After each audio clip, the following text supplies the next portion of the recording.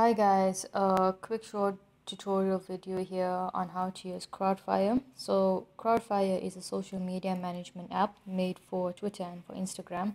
I think it was recently called something like just unfollow me, uh, something along that line. Um, okay, so let's get started. So as you can see, it shows you non-followers. Uh, those are people who are not following you back shows you fans, people who are following you but who you are not following back, recent followers and unfollowers, people who followed you and who unfollowed you in the last 48 hours. Publish. Um, publish is a nice tool as it lets you um, pre-plan your Instagram uh, post. So as you can see, I'm not gonna do it now, but I mean, you can figure it out yourself. You just uh, choose a picture and it you write out whatever you would like to write out with your post and you can set a time. And it even tells you which time is best uh, depending on who your followers are and where you're located. And then there's copy followers. So if there's an account that's similar to yours and you want uh, followers like they have so for argument's sake i'm just going to go to say dubai media office. Say search and you click that move this down. So yeah you can see it's retrieving the followers and now you just have to click plus plus plus plus plus and those people go into my list. Um, there's also admirers. These are the people that uh, comment the most on your posts and who like the most most of your posts. Uh, friend check. This lets you check the relationship between uh, that account and you.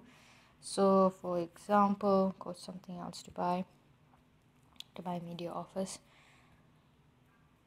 So as you can see I don't follow them and they don't follow me back. But if we did these uh, arrows would be lit up. There's also blacklist and whitelist. So blacklist is uh, as you may know people that you have blocked on your account. And whitelist are people who do not follow you back but who you don't want to unfollow for whatever reason. So um, this is nice as if you put someone in your whitelist then they won't come up on your non-followers. Um, so when you when you're looking at your non-followers following people i mean sorry unfollowing people you won't mistakenly unfollow you know your whitelist people.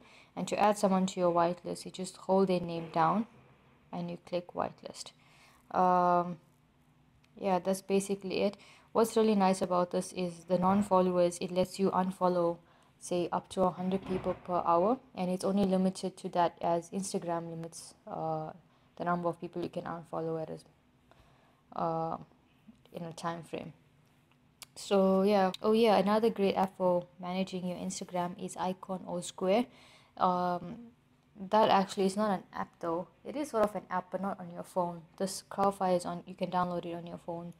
Uh, Iconosquare um, you have to use it on a desktop but basically the only reason why I stopped using Iconosquare and switched to Crowdfire is because Crowdfire is free and Iconosquare started charging like last month.